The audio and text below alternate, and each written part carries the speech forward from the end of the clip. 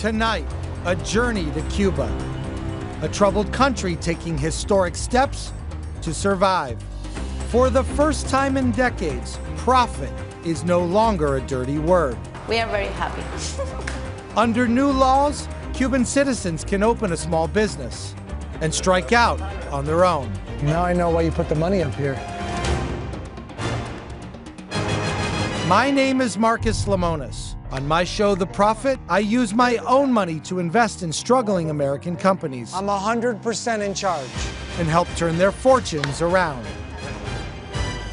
Now I've come to one of the last holdouts of communism to meet some pioneers of capitalism.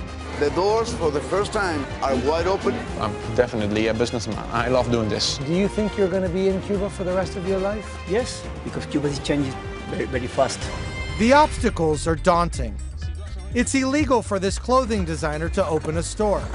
This restaurant owner isn't allowed any more than 50 seats. She had to move her business on orders from the state. You cannot have two stands. No. This sucks. Meet Cuba's new business class, surviving and thriving under one of the most oppressive regimes in the world.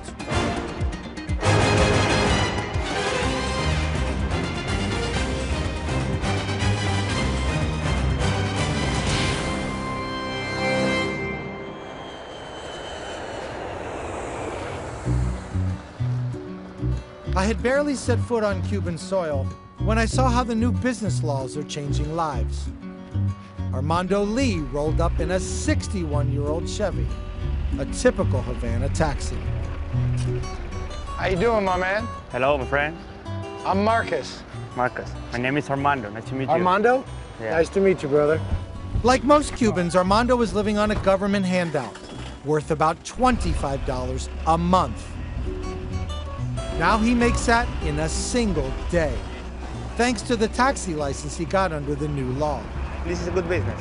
And you can make good money doing this? I can save a little bit for my own business. The best job is to do your own company, your own a small Your business. company. Yeah, exactly.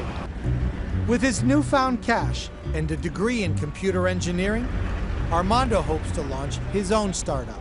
If you have a business and we become friends, can I invest in your company if I live in the If you want, United yeah, you States? give me the money and that's it.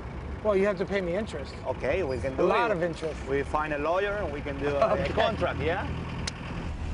Armando made me feel welcome. Of course, I can't invest in a Cuban business. That's illegal because of the U.S. embargo imposed after Fidel Castro's communist revolution. Since 1962, Cuba has been cut off from the goods and services an economy needs to survive. Despite free health care, housing, and higher education, many are struggling. How you doing? ¿Todo bien? Marcos. But walking around the old city, I saw a place full of life, energized by the changes.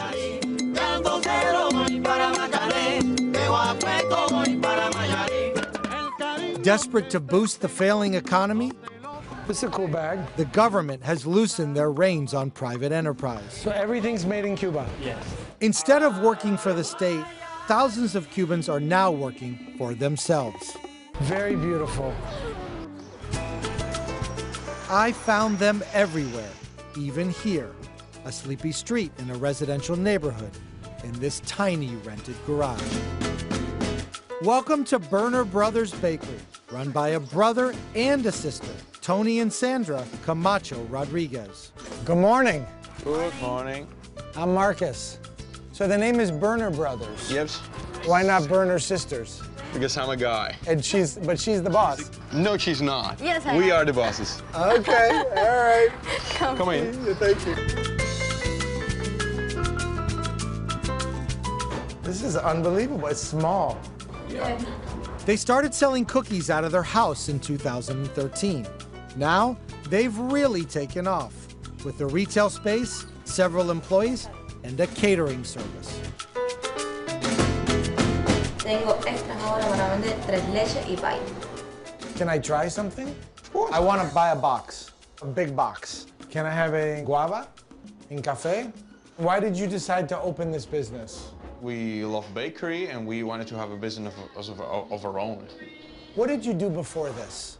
I'm a Oh, dentist. yes. She's a You're a dentist. dentist. Yes. And you're selling sugar. Yes. How much did that pay? They pay me 1,000 pesos a uh, month. Around. That's about $50 a month for a dentist.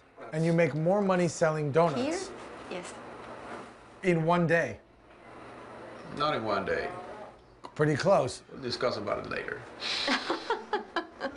Is it difficult to talk with the cameras because you worry about people seeing it? Yep. Tony and Sandra are clearly doing well.